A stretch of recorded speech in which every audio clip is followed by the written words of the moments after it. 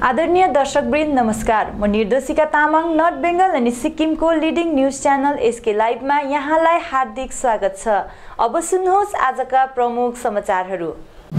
गोरोमोमो श्रमिक सङ्गठन एसपिडब्ल्युले श्रमिकहरूको विभिन्न मागहरू लिएर गोरोमोमो अध्यक्ष मन घिसिङको आदेश अनुसार दिल्लीमुखी कार्यक्रमको निम्ति हिँडेका प्रतिनिधि मण्डलले हिजो बेलुकी सांसद राजु विष्टको नेतृत्वमा केन्द्रीय श्रम मन्त्री सन्तोष गगवरसित भेट गरी चिया श्रमिकहरूका विभिन्न मागहरू लिएर बैठक बस्यो।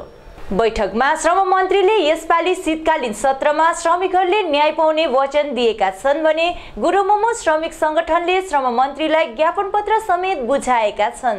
हिजो बेलुकी नै टोलीले केन्द्रीय श्रम एवं रोजगार सचिव हिरालाल समरियालाई भेटी पहाड तराई अनि डुवर्सको चियाबारीको विभिन्न समस्याहरूको जानकारी गराए साथै श्रम एवं रोजगार सचिवले श्रमिकहरूको हक र हितको निम्ति काम गरिरहेको जानकारी दिए। भेटघाटको क्रममा लोकसभा अध्यक्ष ओम बिरलासँग पनि सांसद राजु विष्टको नेतृत्वमा भेटघाट कार्यक्रम रह्यो। हिजोको टोलीमा गोरोमोमो श्रमिक सङ्गठनका कार्यकारिणी अध्यक्ष डिके गुरुङ महासचिव एसके लामा गोरोमोमो मिडिया सेल प्रभारी दिनेश साम्पाङ गुजोमोमो विमल खेमाबाट सुरज सुब्बा अनि गोपाल रुचाल रहेका थिए। नमस्ते र विशेष आज यस प्रेस मिट गर्नुको अर्थ चाहिँ जुन हामीले दिल्लीमुखी कार्यक्रमको निम्ति हामी दिल्लीमा आएको छौँ र हिजो मात्रै हामीले कतिपय भाजपा सांसद ज्यूको मार्फत जो राजु विष्टज्यूको मार्फत अनुसार चाहिँ धेरैवटा मन्त्री महोदयहरूसँग अनि साथसाथै हामीले लोकसभाको स्पिकर ज्यूसँग पनि भेट गर्ने एउटा मौका पायौँ र हामीले विशेष जुन तरिकाले हामीले छ सूत्री कार्यक्रम लिएर आएको थियौँ त्यसमध्ये चाहिँ हामीलाई मिनिमम वेजेस विषय लिएर हामीले एसके गङ्गावार ज्यू जो युनियन मिनिस्टर हुनुहुन्छ उहाँसँग राम्रो तरिकाले बात गर्न सक्यौँ। लगभग लगभग हामीले आधा घन्टा नै समय दिनुभयो। उहाँले उहाँको आफ्नो पिए म्याडमलाई पनि निम्त्याउनु भयो त्यस भेटघाटमा। साथसाथै उहाँको जुन सेक्रेटरी महोदय साहब हुनुहुन्छ। उहाँको नाम हिरालाल सावरिया सर। उहाँसँग पनि भेटघाट भयौँ र उहाँको र मन्त्री महोदयसँग जुन प्रकारले बसेको छौँ उहाँहरूले एकदमै विश्वासपूर्ण तरिकाले कमाने श्रमिकहरूको दुःख दुखेसो एकदमै बुझिदिनु भयो र हामीले पनि त्यही प्रकारले पस्क्यौँ। जुन तरिकाले चाहिँ एउटा कमाने श्रमिकको एक सौ छ्यात्तर रुपियाँको आज अवस्थाले गर्दामा आज पलायन हुनेसम्म अवस्था भएको छ। साथसाथै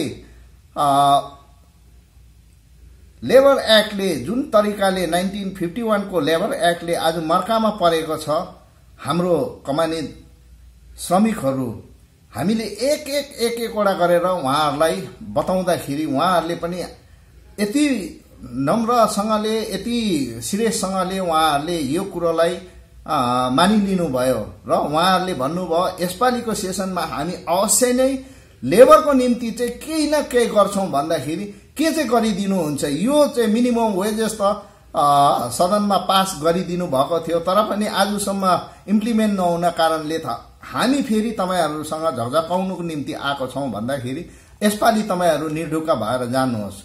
र जुन जतिवटा क्लजहरू थियो त्यो क्लजहरूलाई पनि हामीले पुरा गरेर चाहिँ लगभग लगभग तिन सौदेखि माथि तिन सौ साढे तिन सौ तिन सौ एकाउन्न रुपियाँको जुन हाम्रो आधारभूत बनाएर दिएको थियौँ त्यसै आधारमा नै हुने एकदमै हन्ड्रेड पर्सेन्ट नै हामीलाई चाहिँ विश्वास गराउनु भएको छ। गुजमोमो अध्यक्ष विनय तामाङले एउटा प्रेस विज्ञप्ति जारी गरी दार्जिलिङका सांसद राजु विष्टले लोकसभामा दार्जिलिङ पहाडको मुद्दामाथि लगभग दुई मिनट कुरा राख्ने क्रममा दार्जिलिङ पहाड अनि तराई डुवर्सको समस्याको स्थायी समाधानमाथि जोड दिए तर शताब्दी पुरानो गोर्खाहरूको माग गोर्खाल्यान्डको मुद्दामाथि भने खुलेर केही भन्नै सकेनन् भनी उल्लेख गरेका छन्। उनले बाघ जस्तो गर्जेर पहाडबाट सांसद बनेको राजु विष्ट लोकसभामा भिजेको मुसा साबित भएको उल्लेख गर्दै गोर्खाल्यान्डको मुद्दा सांसद विष्टको मुखबाट ननिस्किएको पनि उल्लेख गरेका छन्।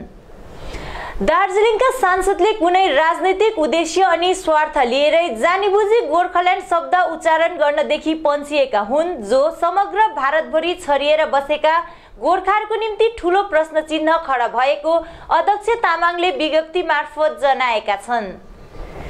अध्यक्ष विनय तामाङले एकपल्ट फेरि सांसद राजु विष्टलाई सबै औपचारिकताहरू पुरा गरेर गोर्खाल्यान्ड जनजातिको मुद्दा अनि एनआरसी सम्बन्धी कानुनमा गोर्खा जातिलाई प्रोटेक्टेड लिस्टमा हालिनु पर्ने यी तीनवटा अहम मुद्दालाई लोकसभाको आगामी सत्रमा पेश गर्नुपर्ने माग गरेका छन्। आज बिहान लगभग नौ तिस बजी सेवक थाना नजिकमा तिनवटा वाहन मुखामुखी हुँदा उक्त सडक बाधित बनेको थियो। उक्त दुर्घटनामा truck number W B one five two one seven nine अनि अल्टो गाडी number S K zero four P two eight three nine रहेको छ भने बुलेरोको नम्बर थाहा लाग्न सकेको छैन। एउटा बुलेरो अनि अल्टो गाडी सडकदेखि नदीको किनारमा पुगेको थियो भने ट्रक सडकमै पल्टदा ट्रकले सडकलाई पूर्ण रूपमा बाधित बनाएको थियो। घटनामा कुनै ज्यानको क्षति भएको छैन भने कतिपय व्यक्तिहरू घाइते भएका थिए। घाइते व्यक्तिहरूलाई अस्पताल पुर्याएको सूत्र मार्फत जानकारी पाइएको छ। हिजो संसदको शीतकालीन सत्रको पहिलो दिनमा दार्जिलिङका सांसद राजु विष्टले दार्जिलिङ पहाडको समस्यामाथि बोलेकोमा सम्पूर्ण गोरमुमो परिवारको पक्षबाट केन्द्रीय समिति सदस्य अजय एडवार्डले आभार प्रकट गरेका छन्। हामीले केही हप्ता अघि सांसदलाई भेट गरी दार्जिलिङ पहाडको समस्या बारेमा जुन बात गरेका थियौँ त्यसैको मुताबिक सांसदले बोलेका छन् हामी उनलाई आभार प्रकट गर्न चाहन्छौँ। विज्ञप्तिमा एडवर्डले जनाएका छन् भने अझै शीतकालीन सत्रभरिमा धेरै कुरा दार्जिलिङको हितको निम्ति पाउनेमा आशावादी रहेको जनाउँदै पार्टीको पक्षबाट सकेसम्म सहयोग गर्ने वचन समेत उनले सांसदलाई दिएका छन्। नमस्ते। आज हामी दोस्रो दिन हाम्रो अध्यक्ष मोहन घिसिङको जनतासँग भेटघाटको भ्रमण। अनि आज हामी सेपीदेखि लिएर टाढा गाउँ लिङ्सेबुङ अझै इत्यादि दुई तिनवटा गाउँहरू गयो। अनि त्यहाँको हाम्रो कार्डरहरूसँग उहाँहरूको घरमा आँगनमा बसेर बातचित गऱ्यौँ उहाँहरूको चाहना हामी बुझ्नु पायौँ। अनि यो इलेक्सन दुई इलेक्सन जिताएर यो पहिलो भेट हाम्रो। अनि उहाँहरूले इलेक्सनमा कस्तो खाले खट्यो कस्तो खाले दबाउमा पनि उहाँहरूले खटेर जितायो। यसको लागि धन्यवाद दिँदै पनि हामी हिँडेको छौँ हिँडेको। अनि यो हिँड्दा हिँड्दा राजु विष्टले मसँग वाट्सएपमा बात गऱ्यो हाम्रो यहाँ इन्टरनेट थिएन। त्यस कारण वाट्सएपमा इन्टरनेट हुँदा बात गर्दाखेरि उहाँले आज पार्लियामेन्टमा बोलिदिनु भएको भनेर एउटा इन्फर्म गरेर एउटा इन्टरनेटको एउटा लिङ्क पठायो। अनि अहिले हामी सुभाष भाइ हाम्रो यहाँ जेनरल सेक्रेटरी रिम्बिक लो लोदामा समष्टिको घरमा आज हामी आइरहेछौँ। आज यहीँ बास बस्छौँ होला हामी।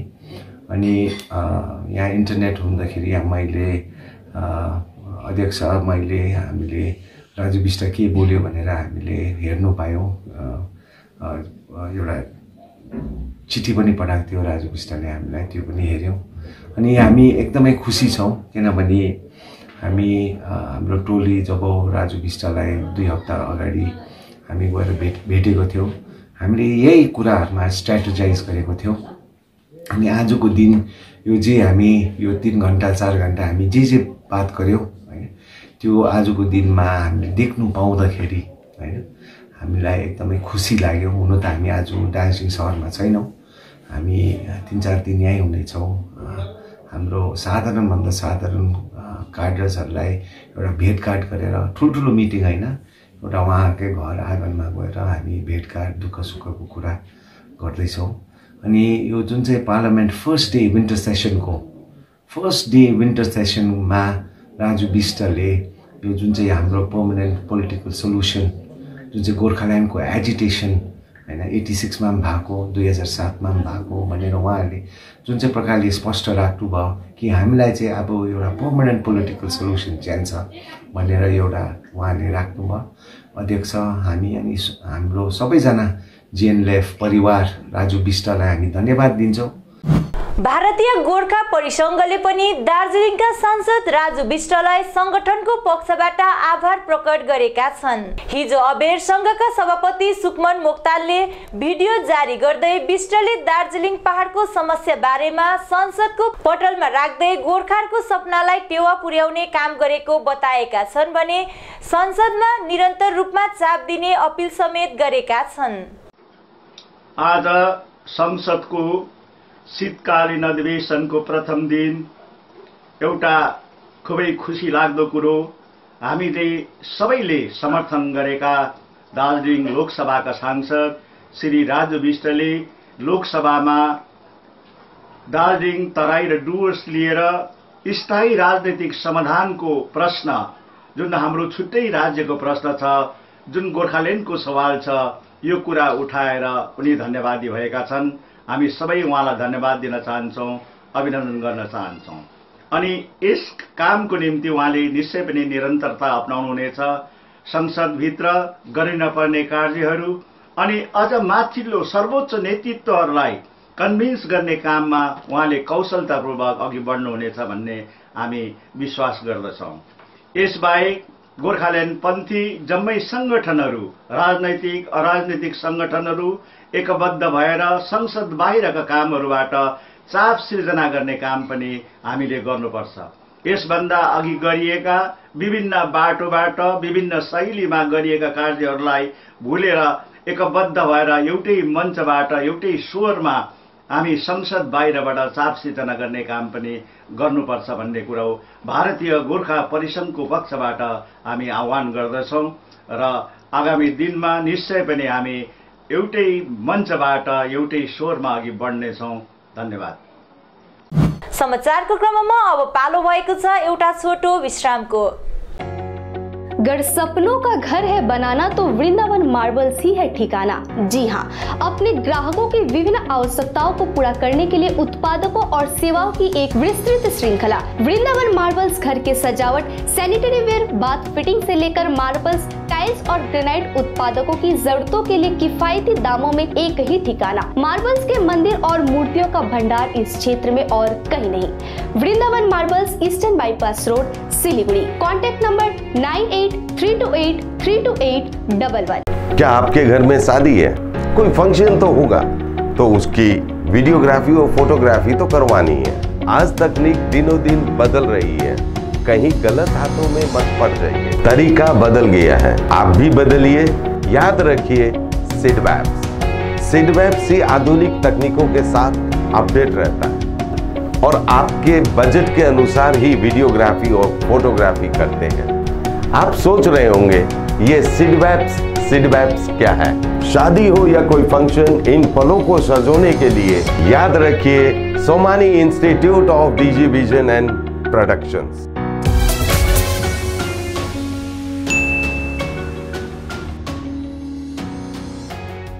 विश्रामपछि यहाँलाई पुनः स्वागत छ।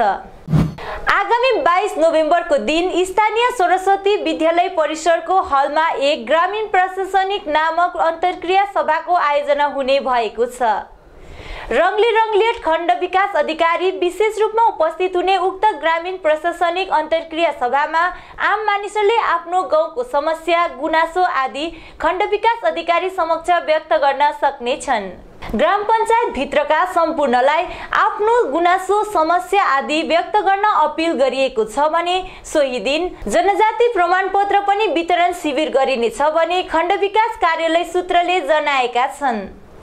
अलिपुरद्वार जिल्लाको तोर्सा बास्रा कालजनी पोरो डिमा जयन्ती र राइडक नदीबाट वन विभाग र पुलिसको आँखा छरेर काठ र लट्ठाको अवैध तस्करी भइरहेको जान्नमा आएको छ। अलिपुरद्वार जिल्लाको तोप्सी खाता ग्राम पञ्चायत अन्तर्गत पर्ने पोरो नदीबाट अवैध लट्ठाको ओसर पसर भइरहेको तर पनि वन विभाग र पुलिस प्रशासनले आँखा चिम्लेर बसेको स्थानीय बासिन्दाहरूले आरोप लगाएका छन्। रातको अध्यारोदेखि बिहानसम्म पोरो नदीबाट अवैध लट्ठाको ओसर पसर चलिरहेको घटनाक्रमबारे यद्यपि दमनपुर पश्चिम रेन्जका रेन्जर नरेन्द्र दत्तले जङ्गलमा लगातार निगरानी राखिएको र धेरैपल्ट उक्त क्षेत्रबाट लट्ठा बरामद गरिएको र यदि यस्तो हो भने कडा पदक्षेप लिइने जनाएका छन्। दार्जिलिङ जिल्लाको खरसाङ महकुमा अन्तर्गत पर्ने प्राकृतिक मनोरम दृश्यले भरपुर सिटोङ तिन आहल डाँडाको ढुङ्गामा विश्वकवि रविन्द्रनाथ टेगोरको मुहारको आकार देखा परेपछि हाल टेगोरको मुहार भएको ढुङ्गा हेर्न देश विदेशबाट पर्यटकहरूको सिटोङमा घुइँचो लाग्न थालेको छ। विश्वकवि रविन्द्रनाथ टेगोरले उन्नाइस सय अडतिसदेखि उन्नाइस सय चालिस सालसम्म चारपल्ट मङ्पू आइबसेको कारण त्यस्ताका गुरुदेवले चलाएको वस्तुहरू हेर्न वर्षेनी हजारौँको सङ्ख्यामा देश विदेशका पर्यटकहरू मङ्पू रविन्द्रनाथ सङ्ग्रहालय आइरहेका छन् भने अब सिटोङ तिन आहाल डाँडा गुरुदेवको मुहार भएको ढुङ्गा भेटेपछि पर्यटनको आगमनमा वृद्धि भएको कुरो स्थानीय बासिन्दाहरू जनाउँछन्।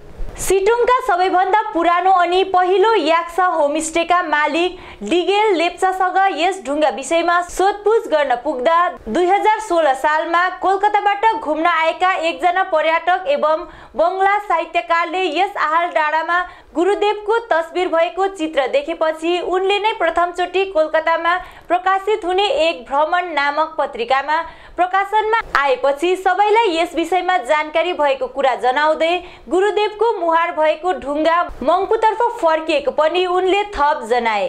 सिटोङमा आहाल डाँडाको रमणीय दृश्य जस्तै नामथिङ पोखरी लेप्चा फल्स रायङ खोला जोगीघाट लाटपन्जरमा रुफुज हनबिल चरा अनि मङ्पुमा रविन्द्रनाथ टेगोरको सङ्ग्रहालय शिक्षण रमिते डाँडाबाट सनराइज भ्यू अनि सुन्दर कञ्चनजङ्घाको दृश्य कुलेन कारखाना Mungpoo orchid house tropical garden साथै रम्बी खोलाको फल्स हेर्न भारी मात्रामा हालमा देश विदेशबाट पर्यटकहरू आउने गरेका छन्।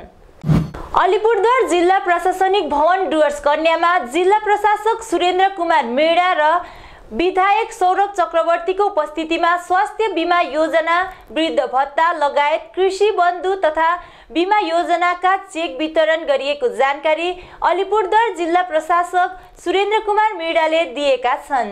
अलिपुरद्वार जिल्लाभरिका चौवनजनालाई चेक वितरण गरिएको थियो भने कृषि बिमा योजना अन्तर्गत जुन कृषक परिवारको अभिभावकको मृत्यु भएको छ त्यस परिवारका सदस्यहरूलाई दुई लाखको चेक वितरण गरिएको बताउँदै अलिपुरद्वार जिल्लाभरि हाल पैँतिस हजार कृषकहरूको कागजपत्र जम्मा भएको र कृषि बन्धु बिमा योजना अन्तर्गत पचपन्न लाख रुपियाँको चेक वितरण गरिने विधायक डाक्टर सौरभ चक्रवर्तीले जनाएका छन्।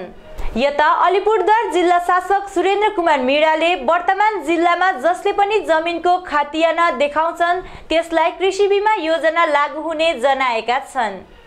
गोरुबथान युथको आयोजना अनि स्पोर्टिङ क्लब गोरुबथानको ब्यानरमा भइरहेको गोरुबथान गोल्ड कपको हिज तेस्रो quarter final match U K F C Kurseong बनाम भुटानमा सम्पन्न भयो। उक्त म्याचमा एकको विरुद्ध चार गोल गरी भुटान सेमिफाइनलमा प्रवेश गरेको छ भने हिजोको खेलमा युकेएफसी खरसाङका जर्सी नम्बर चार Ashish Chhetri man of the match घोषित भएका छन्। आज चौथो quarter final match K K F C Nepal बनाम युनाइटेड ब्रदर्स कालिम्पोङमा हुने आयोजक समितिका सभापति उदय प्रधान अथवा जोशी भाइले जानकारी दिएका छन्। हवस् त आजको समाचार यति नै। ताजा अपडेट अनि रोचक जानकारी लिएर यसकै लाइभ उपलब्ध रहनेछ। चौबिसै घन्टा तपाईँहरूको टेलिभिजन मार्फत। धन्यवाद।